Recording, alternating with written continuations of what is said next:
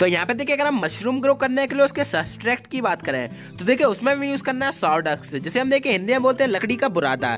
आपको देखिए, बिल्कुल बारीक लकड़ी का बुरादा यूज़ करना है। जिस तरीके से देखिए, मैं लेके आया हूँ। एक बात का याद रखना जो लकड़ी का बुरादा है, वो बिल्कुल फ्रेश होना चाहिए। पुराना ज़्यादा नहीं होना चाहिए, वरना इसमें जो कंटेमिनेशन आने के बहुत सारे चांसेस होते हैं। तो इस बात का आपको विशेष याद रखना अब देखिए, हम देखिए सब्सट्रैक्ट क्या होता है? सब्सट्रैक्ट वो मीडियम होता है, जिसमें हम मशरूम को लगाते हैं। जैसा कि देखिए, हम प्लांट्स को ग्रो करने के लिए सॉइल का यूज़ करते हैं, वैसे हम देखिए मशरूम को ग्रो करने के लिए सब्सट्रैक्ट का यूज़ करते हैं। क्या कर रहे हैं? देखिए, यहाँ पे जो मैंने वाटर लिया हुआ है, हमने देखिए जो हमारा सब्सट्रैक्ट है, यानी कि जो हमारा सॉर्ट एक्स यानी कि लकड़ी का बुराता है, पहले हम देखिए चौबीस घंटे वाटर के अंदर गला देंगे। तो यहाँ पे देखिए, जो हमारा लकड़ी का बुरादा था, देखिए, वो हमने वाटर में अच्छी तरीके से मिक्स कर दिया है। अब देखिए, हम इसे 24 घंटे के लिए ऐसा ही छोड़ देंगे। ऊपर से देखिए, हम इसे किसी भी चीज़ की मदद से ढक देंगे।